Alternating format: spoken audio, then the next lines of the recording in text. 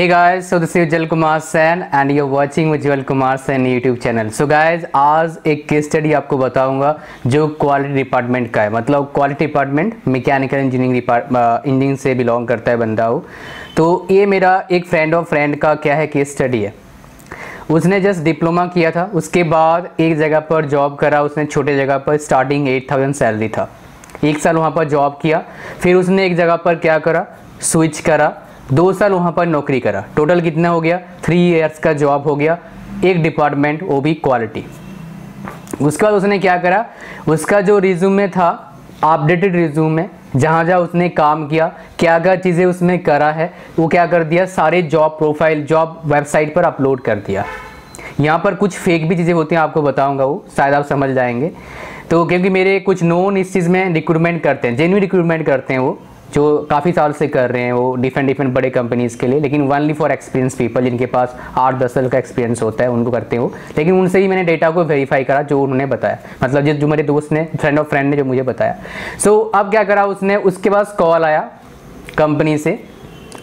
तो उसने बोला कि एक्चुअली कंपनी से कॉल नहीं आता कभी भी। कंसल्टेंट से कॉल आता है। यहाँ पर फेक कंसल्टेंट भी होते हैं। मैं आपको बताऊँगा वो क्या चीज़ है। कॉल आया कि आपका, इस कंपनी में आपका मैच बैठता है तो आप जाएँगे। जब कंसल्टेंट बीच में होगा, कुछ भी करो राइट डायरेक्ट कंपनी से कॉल आना मुश्किल है। या रिज्यूम देखिए आ रहे हो कंपनी तो अलग बात है। वैसे डायरेक्ट कंपनी से कॉल आना मुश्किल है। कंसल्टेंट बीच में होगा, कॉल करेगा। लेकिन जो जेन्यून होगा, आपको कभी भी एक भी रुपया नहीं मांगेगा। पहला। दूसरी बात, आपका इंटरव्यू कंपनी में ही होगा कंपनी वाला इंटरव्यू लेगा। मैक्सिमम चांस सही है। मैक्सिमम चांस सही होते हैं मैकेनिकल का। आईटी में हो सकता है जो कंसल्टेंट है, वो इंटरव्यू ले, लेकिन पैसा नहीं मांगेगा आपसे। बिकॉज़ पैसा कंपनी वाला उनको पे करता है, आपसे क्यों लेंगे वो? पहली बात। ये मैं आपको बता रहा हूँ, ये आप सबको पता नहीं होता इसके बारे में। तो अब कॉल उसने क्या करा गया इंटरव्यू दिया और सिलेक्शन हुआ। लेकिन ये प्रोसेस में कितना सैलरी था उसका? पहले जो लास्ट थ्री इयर्स के बाद उसका सैलरी था I think twenty five to thirty thousand अब उसका सैलरी हुआ फिफ्टी थाउज़ेंड अच्छे कंपनी में। अगर इंडिया में चार ऑटोमोबाइल सेक्टर की बात करेंगे तो उसका एक में सिलेक्शन हुआ है। टॉप फोर की बात कर लो, एक में उसका सिलेक्शन हुआ है। As a quality engineer quality engineer के तौर पर उसका सिलेक्शन हुआ है। केस तो स्टडी आपको केस स्टडी समझ में क्या आया?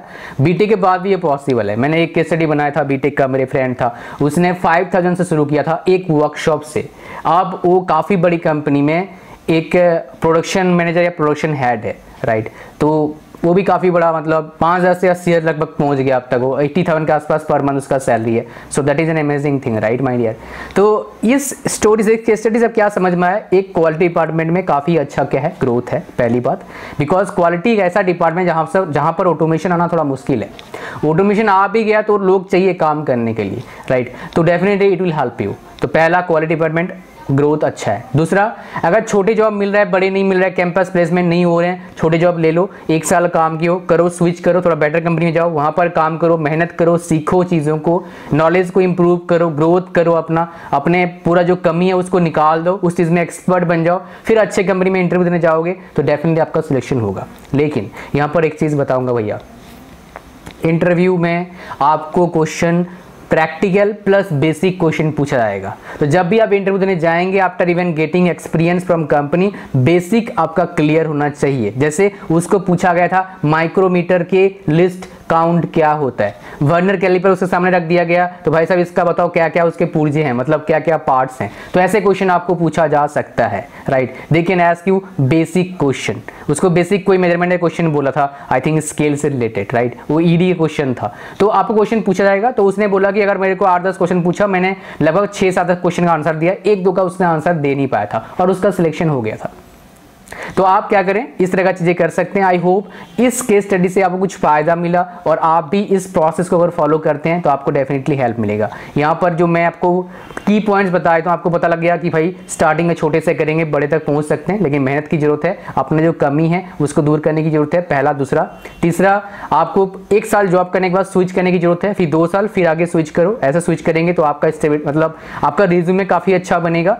दूसरा, तीसरा आप जाएँगे इंटरव्यू देने के लिए तो आपका इंटरव्यू देने का स्किल ठीक ठाक होना चाहिए। थोड़ा सॉफ्ट स्किल को अच्छा कर लो ताकि इंटरव्यू जल्दी क्लियर हो जाए राइट बिकॉज़ देखो आफ्टर ऑल इंटरव्यू कौन लेगा? एचआर लेगा या फिर जो हेड होगा वो लेगा। तो डेफिनेटली एच कुछ क्वेश्चन आपको पूछेंगे और आपको आंसर देना होगा। और इसके लिए आपके अंदर स्किल होना चाहिए सॉफ्ट स्किल मतलब थोड़ा इंग्लिश ठीक ठाक होना चाहिए तो इंप्रूव हो जाता है। एटलीस्ट मतलब काम चलाओ इंग्लिश सीख लो. It will help you my dear I am telling you right because आने वाले टाइम में और इसका और रिक्वायरमेंट होगा बिकॉज़ मार्केट और ग्लोबल होता जा रहा है. अब कुछ लोकल नहीं रहा, सब ग्लोबल है. तो आपको लैंग्वेज सीखना ही पड़ेगा. और आपको पता है इंडिया में इतने जॉब्स जो अभी भी हैं that's because of only English जितना आई सेक्टर है that's because of English right so so, इस वीडियो में इतना ही था। Thank you very much for watching this video अच्छा लगा लाइक करिए। दोस्तों को ज़रूर फॉरवर्ड करिए ताकि थोड़ा सा उनका मनोबल बढ़े। हाँ भाई प्रमोशन मिल सकता है। और stay take care thank you very much God bless you bye यार कमेंट करो कोई प्रॉब्लम आ रहा है। I will try to create a video thank you very much bye bye